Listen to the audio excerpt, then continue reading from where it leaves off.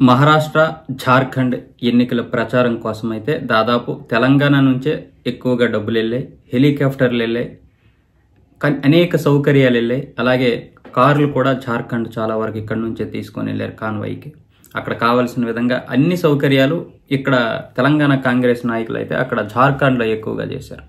మహారాష్ట్ర ఎన్నికల కోసం కూడా దాదాపు మహారా మన ఇక్కడ నుంచే కర్ణాటక తెలంగాణ ఉన్నటువంటి ఈ రెండు ఏదైతే ఉన్నాయో ప్రధాన నిధులు ఇక్కడ నుంచి బెంగళూరు హైదరాబాద్ నుంచే చాలా వరకు కాంగ్రెస్కి నిధులైతే వెళ్ళడం జరిగింది. మరి ప్రత్యక్షంగా చూసాం హెలికాప్టర్లు కూడా ఇక్కడ నుంచే వాడారు.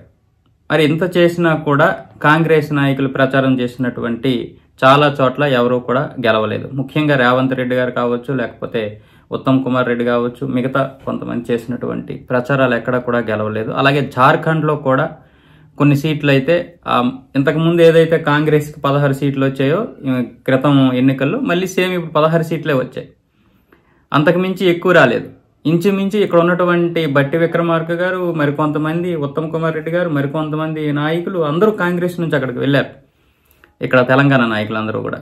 కానీ అక్కడ ఏం ప్రభావం చూపించలేదు జార్ఖండ్లో అదంతా కూడా జార్ఖండ్ ముక్తి మోర్చా పార్టీ మాత్రమే ఆ ప్రభావంతో కాంగ్రెస్లో పదహారు సీట్లు రావడం జరిగింది. అలాగే మహారాష్ట్రలో కూడా రేవంత్ రెడ్డి గారి ప్రభావం అయితే ఎక్కడా కనిపించలేదు. దానికి తోడు పవన్ కళ్యాణ్ ఎన్ని నియోజకవర్గాలు పోటీ చేస్తే అన్ని నియోజకవర్గాల్లో కూడా గెలిపొందారు అలాగే మిగతా చంద్రబాబు నాయుడు గారు కావచ్చు లేకపోతే కూటమిలో ఉన్నటువంటి బీజేపీ నాయకులు మోదీ గారు పెద్దగా రాలేదు మహారాష్ట్ర పట్టించుకోలేదు. అయినా సరే అమిత్ షా వీళ్ళు మాత్రమే. అమిత్ షా అలాగే యోగి ఆదిత్యనాథ్ వీళ్ళే వచ్చి మొత్తం ప్రచారం చేసుకున్నారు. ఇటు మన బార్డర్లో ఉన్నటువంటి పవన్ కళ్యాణ్ అలాగే చంద్రబాబు నాయుడు గారు వీళ్ళందరూ కూడా కవర్ చేశారు.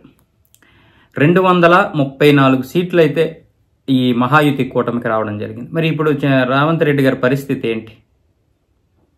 రేవంత్ రెడ్డి గారి పదవికి ఏమైనా ప్రమాదం ఉంటుందా అనేది ఇప్పుడు కాంగ్రెస్లో తీవ్ర చర్చనీయాంశమవుతుంది.